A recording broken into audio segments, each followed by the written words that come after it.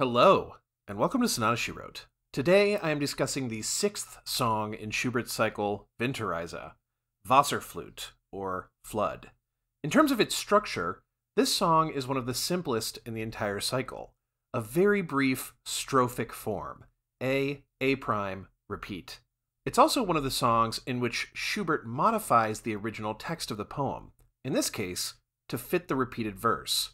In this section of the Cambridge Companion, written by Hallmark, you can see how Schubert modified the stressed and unstressed syllables in the original to fit his music. A few people have been kind enough to comment that they have used these videos to help them prepare the songs in this cycle for various purposes, and because of that, before we get into the actual song, I want to discuss a performance practice issue regarding rhythm, which this song is often at the crux of. As you can see in the piano introduction to this song, we have a dotted rhythm written against triplets. This tends to raise the question of whether to tripletize the dotted rhythm, essentially changing the dotted eighth sixteenth rhythm to this quarter eighth triplet rhythm. In the recording of the cycle I've been using, Tom Beghin and Jan van Elsacker, they choose to tripletize the rhythm so that the soprano voice and bass voice align.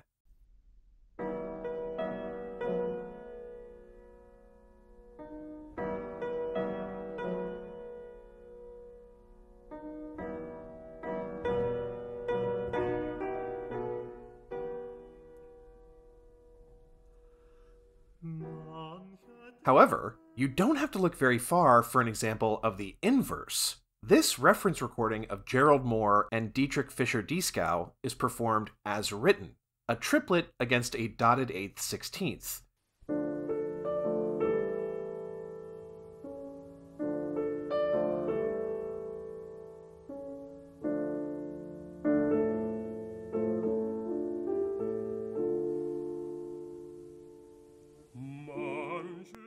Bostridge, in his book about Schubert's cycle, writes of his experience in performing this rhythm as written and the surprised reaction he perceived in the audience.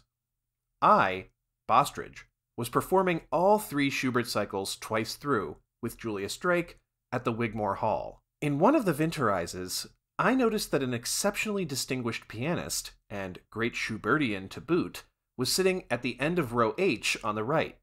I had recognized him fairly quickly as I scanned the hall in the moments before the cycle kicking off, making that initial visual connection with the audience that has become almost a ritual. Only a little later did I see that he was following the music with his score, always a little off putting if you're singing something by heart, and that he was sitting next to another, younger, but also distinguished instrumentalist. As Julius launched into the first bars of Wasserflut, the pianist in the audience, let us call him A, started to look with incredulity at the music. Shaking his head, he turned to his companion, let us call him B, and jabbed a finger at the notes. I don't remember B's reaction, but the coup de grace came when A swung his body right around to communicate his artistic dissent, revealing that the person in the row directly behind him was another famous pianist, C, who seemed rather taken aback at the disturbance. What was going on? Why was our harmless performance of this harmless song causing such a fluster? As you may be able to gather from these three pianists' rather rude reaction, there is a relative musicological consensus on how these rhythms should be performed, and that is that the dotted rhythm should be assimilated within the triplet. Many musicologists apply this not only to Schubert, but backward and forward through much of the 18th and 19th centuries. In the foreword to the Vienna Urtext edition of Haydn's piano sonatas, Robert Levin writes, quote, In conjunction with the passages in faster tempi, Haydn observes the 18th and 19th century practice of using dotted rhythms, which were commonly aligned with triplets in performance.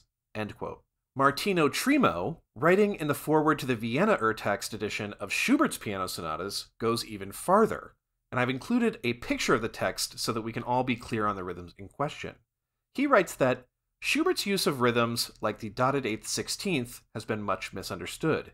It appears he never wrote the rhythm triplet quarter eighth, and it seems inconceivable that he, who employed triplet rhythms with such regularity, should deliberately avoid this rhythmical figure. The well known example of the written rhythm in Erstarrung, And if you take a look at Erstarrung, I think it's fairly obvious that Trimo actually means Wasserflute here. From Die Winterreise leaves no doubt that the sometimes dotted eighth sixteenth actually equals triplet quarter eighth. This is often the case when the dotted rhythm occurs in the context of triplets. It's actually not the case that Schubert never wrote the triplet quarter eighth rhythm. He wrote it roughly 30 to 40 times, but considering how large Schubert's output is, I don't think that meaningfully changes Trimo's point. On the other side of this debate, Bostridge, whose chapter on this song presents an excellent summary of both sides of this argument and would be a great addition to anyone's library who needs to perform these songs, points out the preferences of J.S. Bach, the pedagogue Johann Quantz, and Beethoven himself on the side of performing the rhythm as written. Quantz, an 18th century flute teacher, makes an especially compelling argument. Quote, if one tried to assimilate the dotted figure to the value of the triplet figure, the expression created thereby would not be brilliant and splendid, but lame and monotonous instead. End quote. What I personally am trying to accomplish here is to reinsert some ambiguity into this issue. Yes, it is more or less standard to assimilate the triplets in this piece, and to be perfectly honest, I think it sounds fine when this is done. To do so is to make this a non issue. You will likely not raise any eyebrows by performing it this way, and that obviously has a lot of value. However, in performance practice, I feel your guiding star should always be your own musical taste. If you do your research, or allow me to do some for you, you can see that a variation in performance can easily be well reasoned. And if you need some ammunition against a teacher, or even against your own assumptions to perform this music as written or otherwise, you now have some.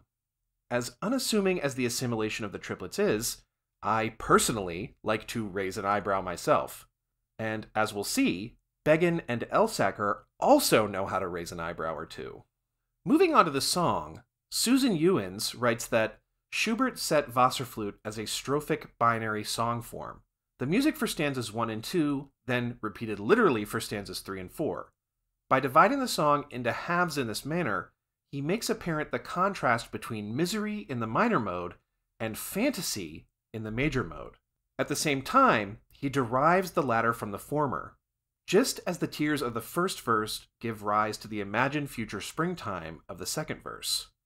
Within the first verse, the music represents the bitter reality of the wanderer's tears and the biting cold of his surroundings. In the second section, in the relative major, the wanderer imagines the coming of spring and the thaw that it implies.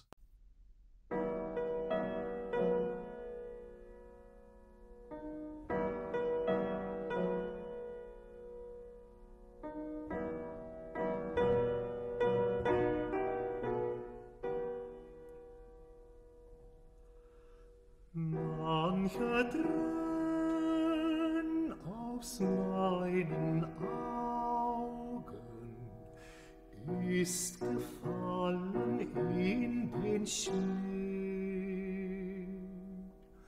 Seine kalten Flocken saugen, durstig ein, das heiße Wind.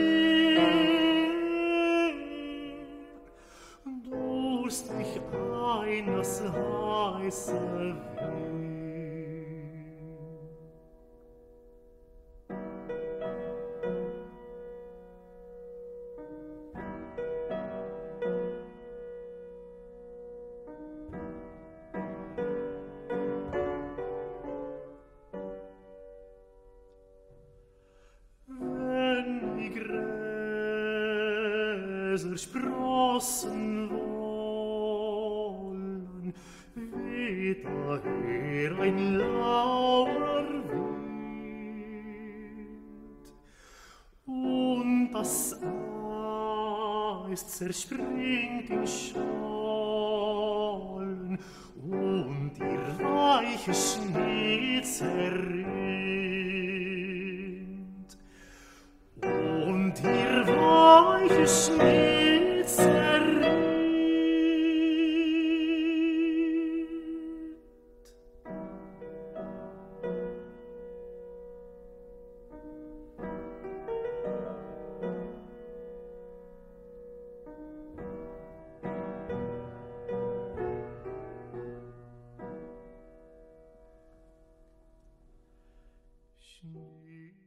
As the verse ends, the wanderer abruptly returns to the tonic of the song, a shocking return to his own reality, which therefore sounds as a bitter response to the fantasy of the major mode sections.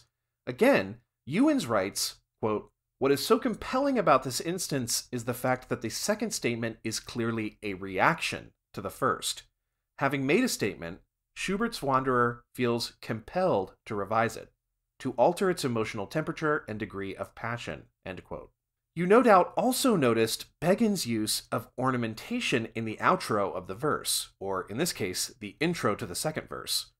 Ornamentation would have been, and still is, a very common practice, especially, as in this case, with music that repeats multiple times.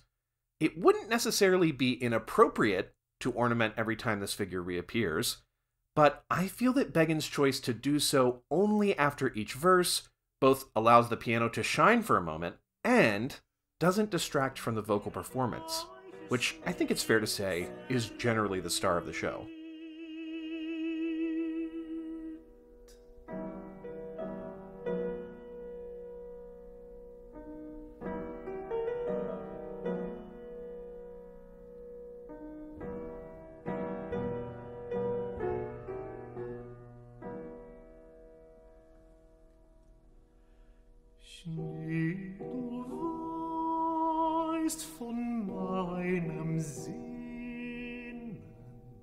Sag, wohin doch geht dein Lauf? Folge nach nur meinen Tränen, nimm dich bald das Bächlein auf. Nimm dich bald das Bächlein auf.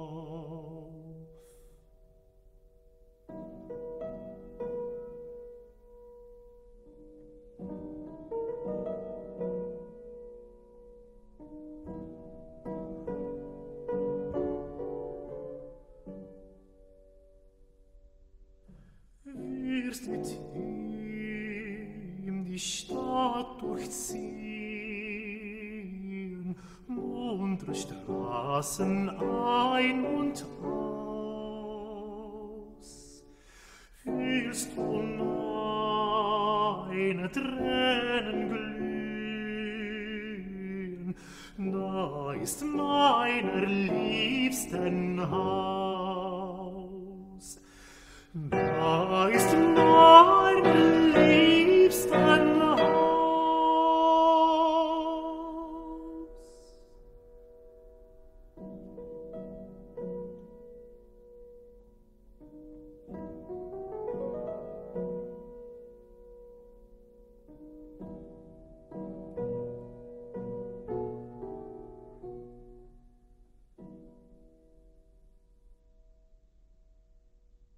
Schubert's use of F sharp minor and A major are only a part of what sets the two halves of this song, reality and fantasy, into relief. It could almost be any two keys, because his refusal to prepare the keys in any way is what makes it so effectively jarring. When moving into A major, there is no common chord modulation. We simply leave a cadence in F sharp minor and immediately move to a half cadence in A major, and vice versa, when the wanderer bitterly repeats the line of his beloved's house. We're simply slammed back into the reality of the minor key. This video sticks out a little in the cycle for some more concrete performance practice information, but I hope you found it useful or at least interesting. If you'd like to support the channel, consider joining the crew of my patrons you see on the screen now at patreon.com slash sonata she wrote. And as always, thanks for joining me.